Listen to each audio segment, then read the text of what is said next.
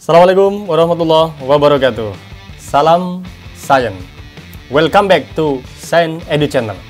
Sahabat Sains, tanggal 21 Juni 2020 akan terjadi sebuah peristiwa astronomi yang cukup menarik di muka bumi ini, yaitu gerhana matahari cincin. Bagaimana detail peristiwanya? Kita ikuti video berikut ini.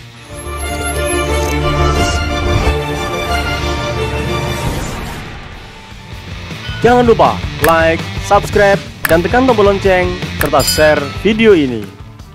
Oke, untuk memahami bagaimana peristiwa gerhana matahari terjadi, kita pelajari pelan-pelan dari sistem matahari, bumi, dan bulan. Ya, kalau ini ibaratnya adalah matahari, kemudian ada ekuator langit, maka bumi mengelilingi matahari itu miring 23 derajat terhadap ekuator langit. Jadi makanya kadang e, matahari seolah-olah di langit selatan, saat yang lain di atas ekuator, saat yang lain di langit utara itu karena fakta seperti ini bahwa bumi mengelilingi matahari dalam bidang ekliptika yang miring 23 derajat. Nah, saat yang sama ada sistem bulan bumi dan menariknya saat bulan mengelilingi bumi pada satu bidang ini, ternyata dia miring 5 derajat terhadap bidang ekliptika. Ya, jadi sekali lagi, bulan mengelilingi bumi itu pada orbit yang miring lagi, yaitu sebesar 5 derajat terhadap e, bidang e, ekliptika. Sehingga secara overall, bulan itu miring 28 derajat terhadap e, ekuator langit sehingga coverage area bulan dalam mengitari bumi itu lebih daya jangkaunya lebih panjang bulan ketimbang matahari. Jadi maksimal matahari itu berada di langit itu ujungnya itu adalah di 23 derajat lintang utara atau 23 derajat lintang selatan. Tetapi kalau bulan itu bisa sampai pada kawasan eh, 28 derajat lintang utara dan 28 derajat lintang selatan. Itu menariknya. Jadi Nah, karena bulan itu miring saat mengelilingi bumi, itu yang menyebabkan gerhana itu tidak terjadi setiap bulan. Padahal sebetulnya syarat terjadinya gerhana adalah gampang yaitu ketika uh, bulan berada pada posisi konjungsi ya uh, atau uh, bulan baru dan yang kedua adalah saat oposisi yaitu saat bulan purnama. Nah, tapi pada saat bulan baru dan atau purnama itu tidak mesti bulan berada di bidang ekliptika. Nah, karena apa? Karena bidang ketika mengelilingi bumi itu miring seperti ini. Nah, kejadian gerhana itu hanya terjadi saat bulan ini berada pada bidang yang sama dengan ekliptika, yaitu titiknya ini ada dua ini yang kita sebut sebagai descending node dan ascending node. Jadi node di sini artinya adalah pertemuan ya, pertemuan antara bidang orbit bumi mengelilingi matahari dan orbit e, bulan mengelilingi bumi. Itu yang disebut sebagai nut. Nah, itu kemungkinan terjadinya gerhana hanya pada saat seperti itu. Secara lebih detail kira-kira begini gambarnya. Ini bumi, lalu ini bulan itu berada di lingkaran yang lebih dalam ya Anda bayangkan. Bulan itu berada pada lingkaran yang lebih dalam ketimbang yang ini matahari. Sedangkan matahari dan bulan itu memiliki orbit yang berbeda, yaitu miring 5 derajat keseluruhannya. Anda lihat ini miring 5 derajat maka tidak setiap saat bulan baru atau tidak saat setiap saat bulan purnama terjadi gerhana. Hanya saat bulan berada di posisi node ini, baik ascending node maupun descending node, barulah terjadi peristiwa gerhana. Misalnya ini, uh, Anda bayangkan matahari berada di lebih luar, lalu ini bulan. Nah, saat moon begini, ini namanya moon, konjungsi atau ijtima dalam istilah fikih Islam pada peristiwa seperti ini barulah terjadi peristiwa gerhana matahari. Itu yang akan terjadi besok tanggal 21 Juni. Berarti kira-kira saat ini bulan itu posisinya sudah berada di sekitar titik node ini. Perpotongan antara garis edar bumi mengelilingi matahari dengan garis edar bulan mengelilingi bumi. Ini namanya ascending node, descending node itu di sini. Nah, baru terjadi peristiwa gerhana.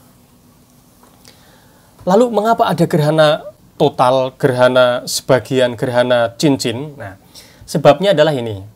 Bahwa bumi mengelilingi matahari itu bentuknya elips. Kadang bumi itu berada pada jarak yang cukup dekat.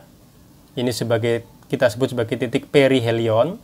Saat yang lain bumi berada pada titik terjauh namanya apelion. Demikian pula bulan. Bulan mengelilingi bumi itu orbitnya elip juga. Suatu saat berada pada titik terdekat namanya perigi. Saat yang lain bulan berada pada titik terjauh namanya apoge. Nah, adanya perihelium, apelium, perigi, dan apogee inilah yang menyebabkan pola gerhana itu berbeda-beda. Gambarannya seperti ini.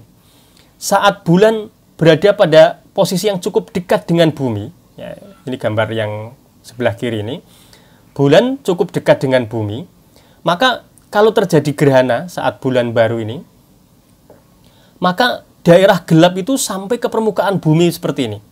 Ini berarti bulan sedang pada berada pada posisi perigi. Maka ini akan e, terjadi gerhana matahari total seperti ini. Akan muncul namanya kawasan umbra. Sedangkan kawasan kanan kirinya itu disebut sebagai kawasan penumbra. Oke. Lalu saat saat yang lain bulan sedang berada pada posisi yang cukup jauh.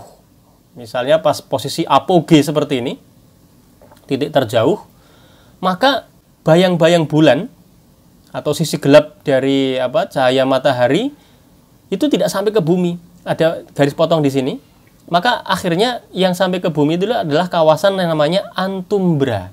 Nah, umbra, penumbra dan antumbra ini akan memberikan efek penampakan e, gerhana yang berbeda.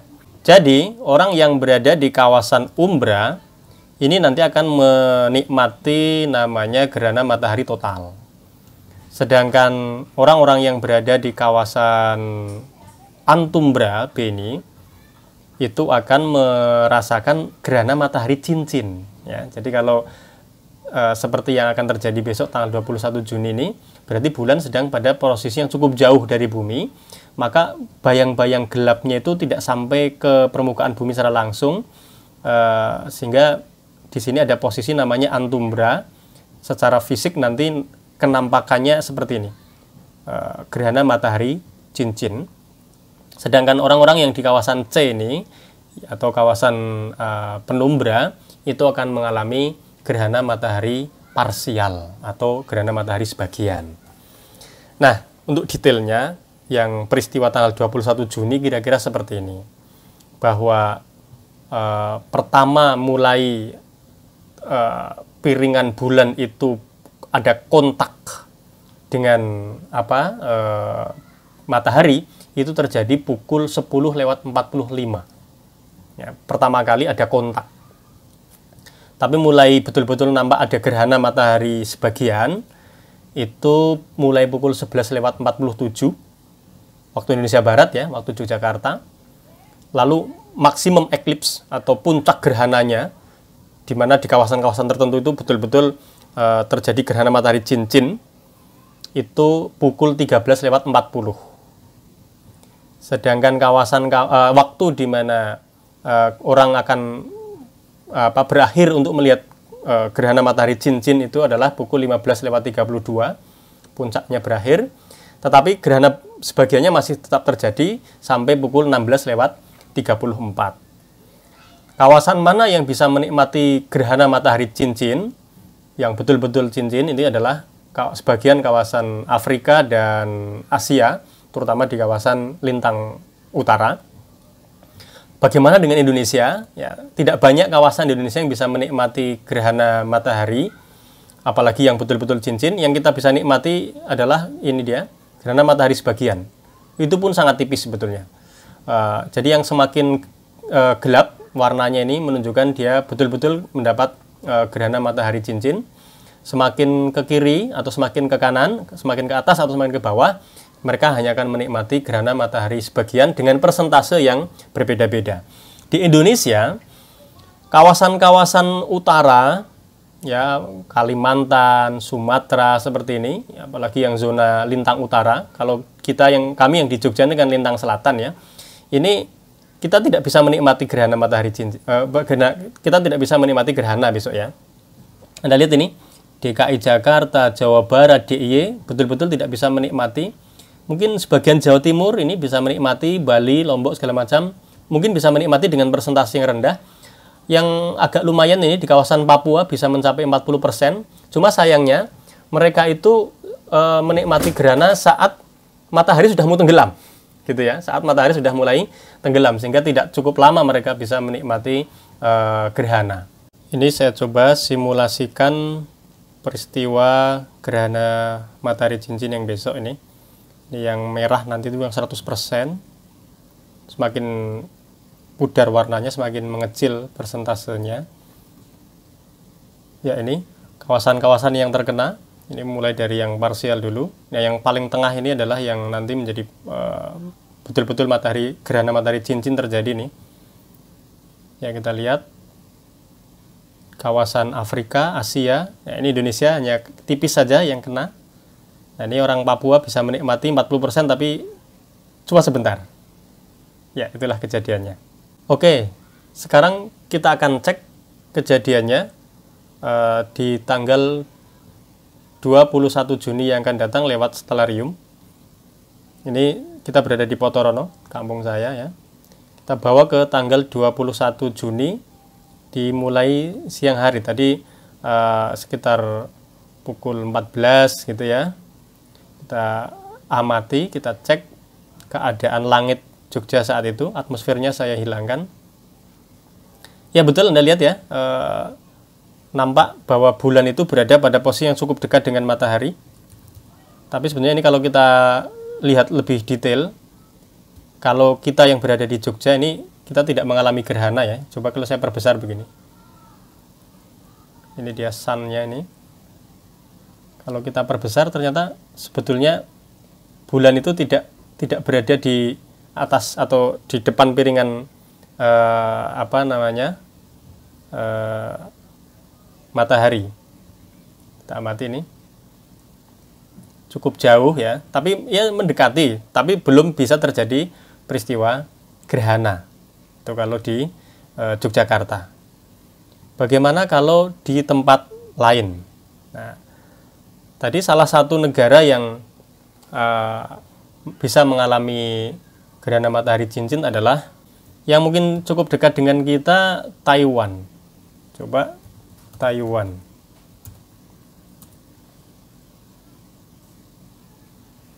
Kita cek. Di Taiwan posisi gerhananya seperti apa? Ya. Semakin mendekat matahari ya inilah new moon. Ya cukup cukup keren ya ini posisi di Taiwan kira-kira seperti ini keadaannya nah itulah eh, apa namanya kejadian gerhana matahari cincin yang akan terjadi eh, tanggal 21 Juni tapi sayangnya bagi kita yang tinggal di Jawa sebagian besar tidak bisa menikmati pemandangannya. Tapi bagi teman-teman yang berada di Sumatera, Kalimantan yang berzona lintang utara, silahkan nikmati ya di jadwal-jadwal yang sudah kami perlihatkan tadi. Dengan, kalau tidak punya kacamata matahari, saya kira nggak apa-apa Anda menggunakan uh, film ronsen ya. Film ronsen cukup bagus untuk bisa mengamati peristiwa gerhana matahari sebagian. Demikian semoga bermanfaat. Assalamualaikum warahmatullahi wabarakatuh.